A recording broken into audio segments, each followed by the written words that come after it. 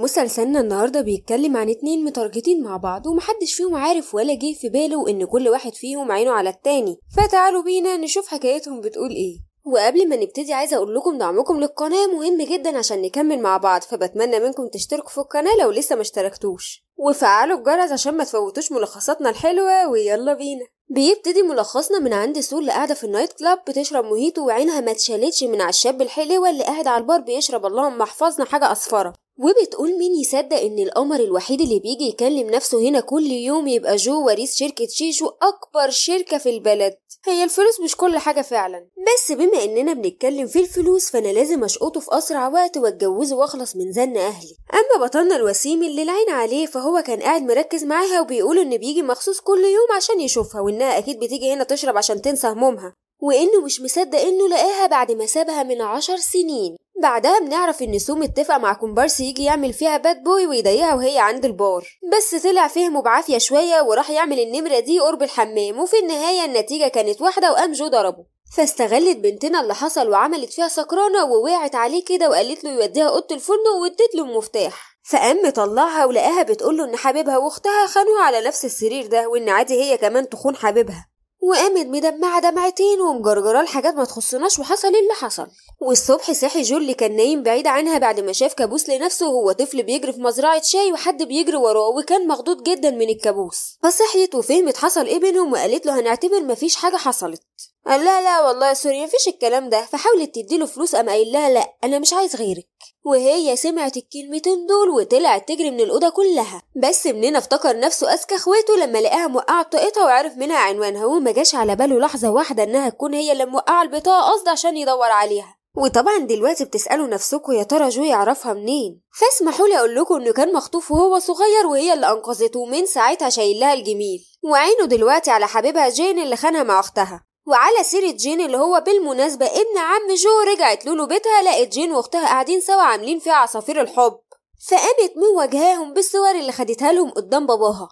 بس لقيته بيقول لها عيب يا بنت خطيبك وأختك أشرف من الشرف. وكمان طلب منها تتأسف لهم ولما رفضت اتقمص جين ومشي زعلان. فأبوها هزها وقال لها لازم تتجوزي حد من عيلة شركة جيشو. فقالت له بابا هو أنت مش مكفيك إنك اتجوزت واحدة منهم وجبت لي مرات أب؟ وهنا مرات أبوها زعقت راح الراجل لطشها قلم عشان يرضي مراته. أما جو فكان وصل شركته اللي كان بعيد عنها فترة. وطلب من المساعد بتاعه إنه يعرف له كل حاجة عن شغل جين وإنه مش هيسكت له عشان لسه ما اتخلقش اللي يضايق البنت اللي بيحبها وهو عايش. وبمناسبة لوفا دخلت أوضتها تلم هدومها وقعدت تبص على صورة ليها هي ومامتها ووش تالت مقطوع. وافتكرت باباها وهو بيقول إنهم صحيح مستواهم المادي مبقاش زي زمان بس كفاية إنه يبقى مع بنته ومراته. وكانت شايفة إن مامتها اختارت غلط وإن الرجالة كلهم مصطفى ابو حجر وفي اللحظة دي دخلت عليها أختها وقعدت تتريق على مامتها فبنفهم إنها أختها من أبوها بس. وبتقعد تقول لها إنها بومة وضيعت حبيبها من إيدها عشان كده حباها هي واعترفت لها إنها مغفلينها بقالهم حبة حلوين. فقالت لها لا يا حبيبتي ما أنا عارفة وعشان كده كنت سايبهولك خالص وشبعي بيه وقامت سايبة البيت وماشية.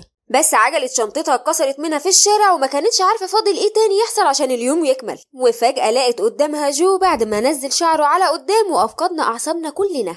وحست إنها انتصرت عليه وجابته برجليه فعملت عبيطة وسألته عرفت عنواني منين؟ فقال لها ما أنت وقعتي بطاقتك وأنا لقيتها وتعالي خديها من العربية وبالمرة أوصلك.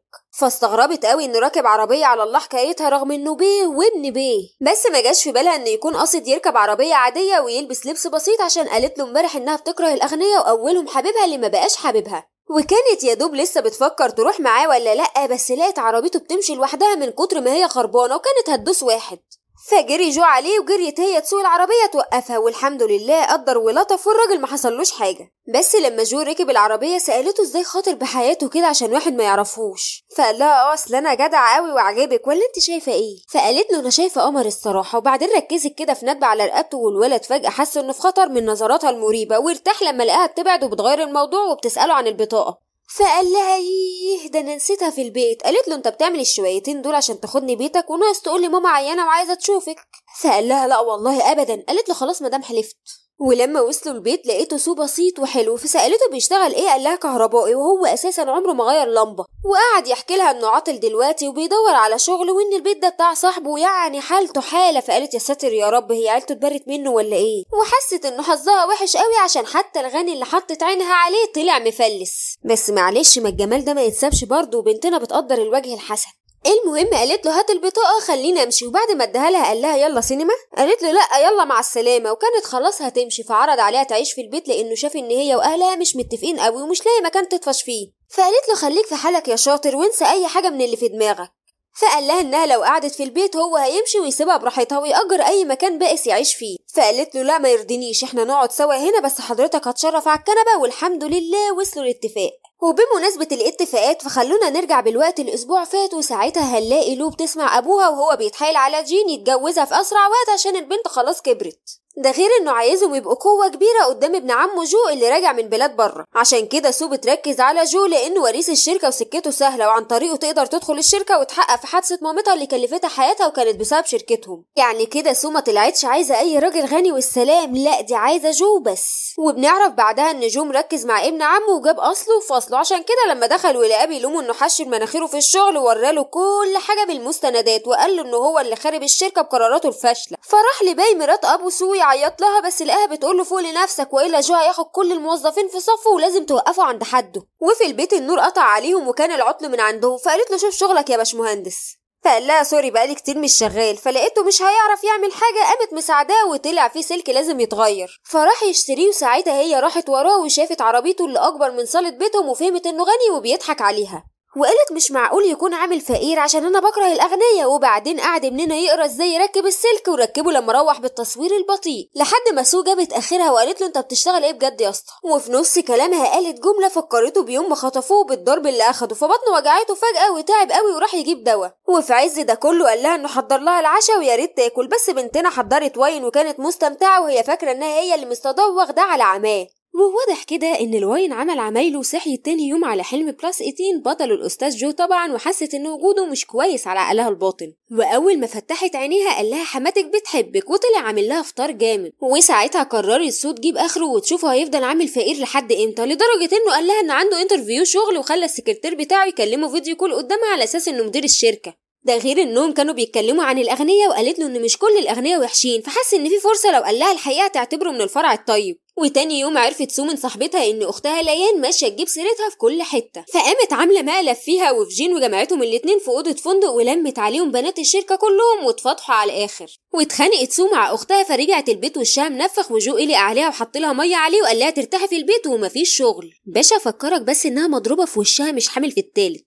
المهم يعني القعدة ما انتهتش بشكل كويس قوي وقالت له سو إنه لو هياخد باله منها النهارده بكرة هيزهق ويمشي زي كل الرجالة. فابننا اتحمق قوي وراح نازل يقابل جين في الشركة الساعة 2 بالليل وعرض عليه نسبة من أسهمه في الشركة وهو طبعا ما صدق وسأله عن المقابل. بس ما لحقش يسمعه عشان دخلت واحدة اسمها جيان فجأة بوظت ال deal. وأول ما مشي جين مسكت جو قالت له منك لله كنت هتضيع أسهمك عشان واحدة ست وغريب الحب مين فاهمه بصحيح؟ ولما نزلوا من الشركة قالت له جيان إنه راجع عشان حقه وشركته مش عشان يضحي بيهم عشان أوهام. ولما سألته عن علاقته بسو قال لها مفيش بينا حاجة. فبتقول له جيان إنها حليفته الوحيدة والمفروض يركز في المهم ويركن أي تفاهات أما جين فوصل الشركة تاني يوم لقى الفيديو بتاعه هو وليان متسرب ولما واجهته جيان في اجتماع المديرين قال لها إنه متفبرك وإن في حد قاصد يوقعه وإنه هيجيب حبيبته حفلة الشركة ويثبت للكل إنه مش خاين. وفي الوقت ده كان أبو سو بيبتزها عاطفيا وبيقول لها إنه هيرمي نفسه في البحر لو ما قالتش إن حبيبها مخلص وعمره ما خانها لأنه لغى كل شغله معاه وعايز يكسبه من تاني. ولما رجعت البيت حط لها جو مرهم على جرحها فسألته إذا كان اتعرف في الشغل على بنت ولا حاجة قام قايل لها إنه single وعمره ما فكر غير فيها هي وبس. وفي يوم الحفلة حاول جو يخبي وشه أول ما لقاها داخلة مع جين وبعدها اتفرج عليه وهو بيقول للناس إنه جاب حبيبته مخصوص تشهد إن الفيديو fake فلقاها بتقول إنها بتحب واحد طيب وشجاع ولطيف ووسيم وبيعرف يطبخ والأول على السبع قارات وهو ده اللي هتتجوزه. فهمس لها في ودنها وقال لها مين اللي قالك إني هتجوزك أساسا؟ قامت فاتحاه قدام الناس وقايلة إنه مصاحب أختها فعلا وإنها ما كانتش تقصده هو وكانت تقصد جو. وقامت بص عليه كأنها بتقول له أنا عارفة حقيقتك والناس كلها قعدوا يقولوا عليها مجنونة وبتبص لأسيادها. قام جو جاي بايسها قدامهم عادي خالص وجاب لهم كلهم صدمة حضارية إلا أبوها كان فرحان قوي عشان هو موافق على أي عريس غني وخلاص. ويا ريت جو اكتفى بكده لا ده كمان فضح عمايل جين في الشركة لدرجة إنه أغمى عليه وما لقاش اللي يشيله. ولما رجعوا البيت قالت له سو إنه كدب عليها وكان لازم يقول لها حقيقته وما يسيبهاش تعرفها لوحدها. فقال لها إنه خاف تبعد عنه لما تعرف إنه غني وهو بيحبها ومش عايزها تضيع منه. وبيقول لها تثق فيه فقالت له أنت صدقت إني بحبك ولا إيه؟ أنا قلت كده بس عشان أخلص من زن بابا وما اتجوزش جين. وهنا حس جو إن الدنيا حطت على جرحه كلونيا وفي وقت ما سو خرجت مع صاحبتها وقالت لها إن جو بقى خاتم في صباعها كان جو مجهز الخاتم فعلا عشان يعرض عليها الجواز وعمال يفتكر يوم ما أنقذته من العصابة وخد عهد على نفسه يحميها زي ما حميته زمان. وفعلا لما بتوصل وبتشوف اللي جو عامله والشياكة اللي هو فيها بتقول له ثانية واحدة يا اسطى هو أنت هتطلب إيدي بجد؟ فقال لها أيوه عشان أنا بحبك وعارف إن أنت كمان بتحبيني رغم ال trauma اللي عندك وأوعدك إني مش هكون زي ال ex الخاين بتاعك. فوافقت على طول عشان ما عندهاش وقت تضيعه وفكرت مع نفسها إن جوازها منه هيخليها تحقق هدفها بسهولة لأنه قال لها إنه هيشغلها سكرتيرة معاه وبكده تقدر تحقق في موت مامتها. كلام في سركم أنا الراجل ده صعبان عليا. المهم خدها يختاروا فستان الفرح وقعدت تدبدب في الأرض عشان مش عايزة تلبس فستان أبيض في الفرح. وما هبطتش غير لما لقت فستان اسود عجبها وهو ده اللي هتتجوز بيه. يجعلها آخر الأحزان يا فنانة بس مدام غادة عبد الرازق عملتها قبلك.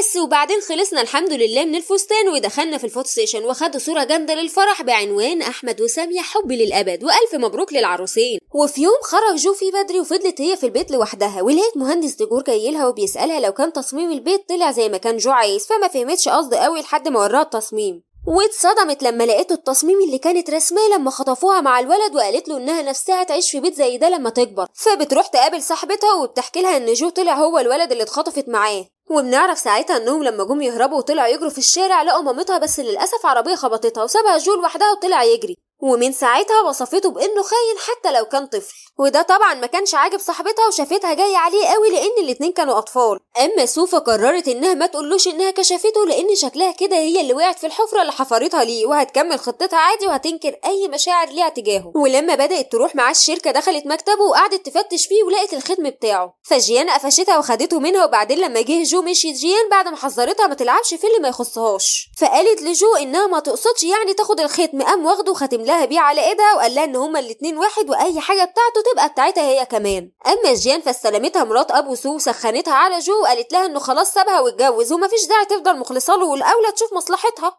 ولما خرجت سو تقعد على مكتبها لقت كرسيها مكسور وكانت حابة جو يغيره لها.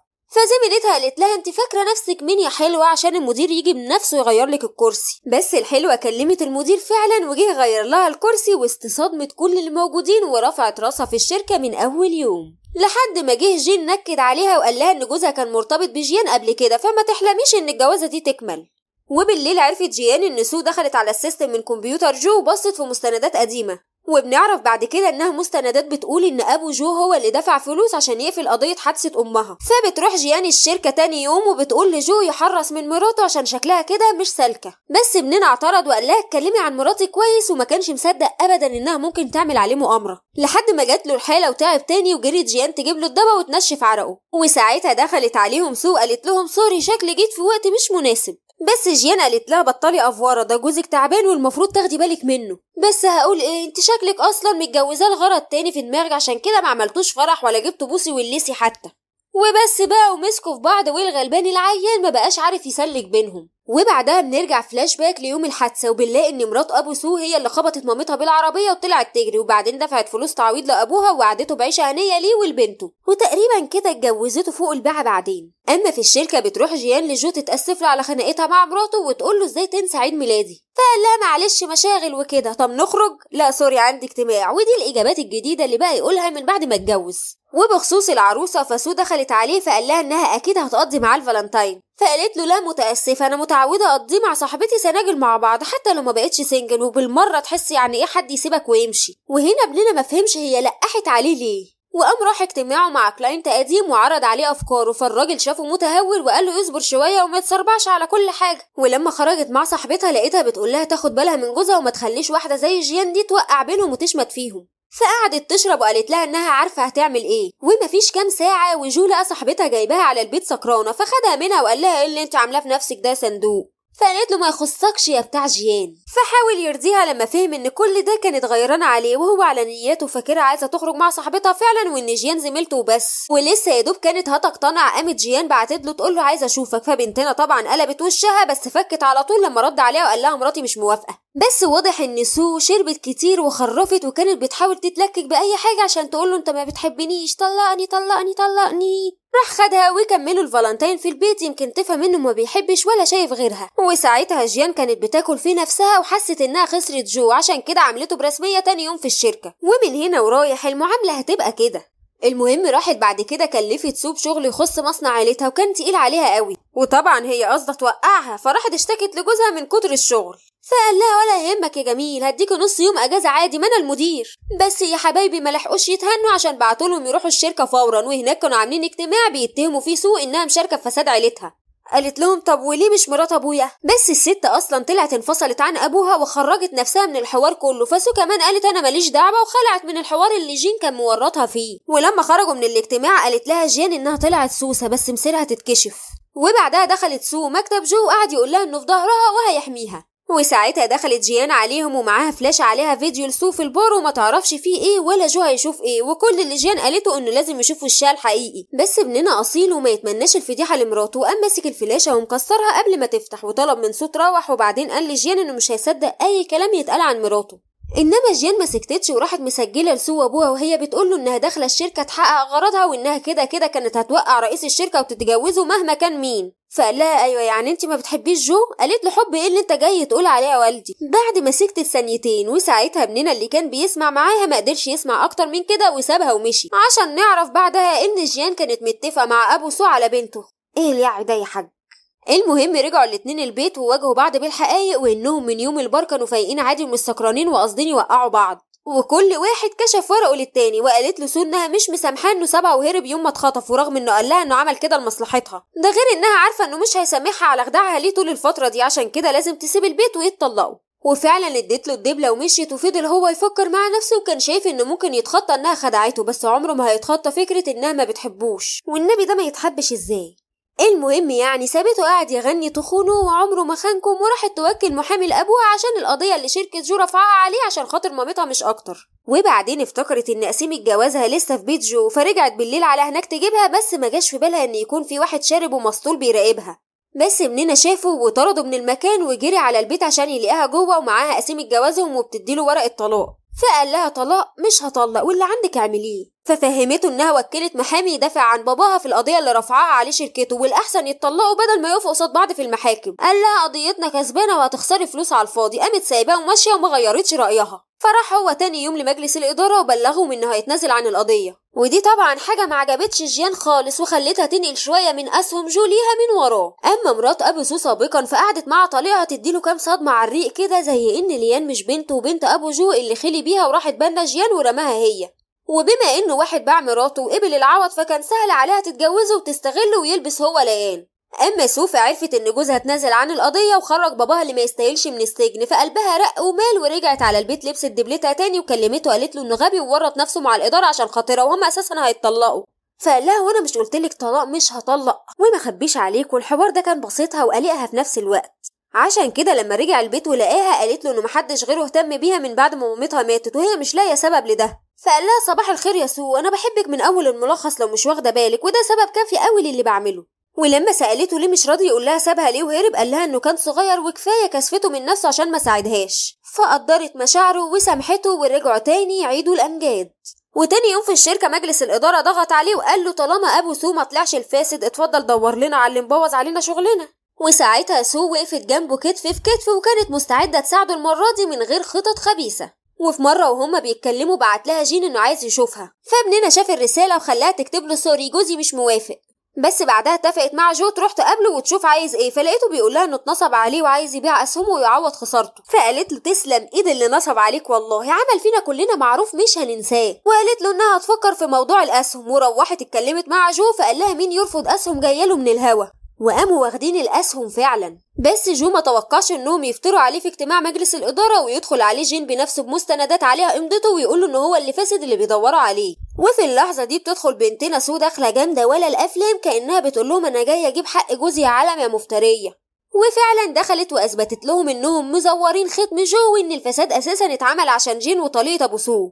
وفي النهاية طردهم كلهم من الشركة. بس مننا طلع أصيل وسلم إدارة الشركة لجيان بعد ما طلع عارف إنها نقلت أسهمه ليها وقرر يقضي حياة سعيدة مع سو من غير دوشة وقرفضات رجال الأعمال. وبالنهاية الرايقة دي يكون خلص ملخصنا مستنيين نعرف رأيكم فيه. وطبعا ما تنسوش تشتركوا في القناة لو لسه ما اشتركتوش وتفعلوا الجرس عشان ما تفوتوش ملخصاتنا الحلوة أبدا. وسلام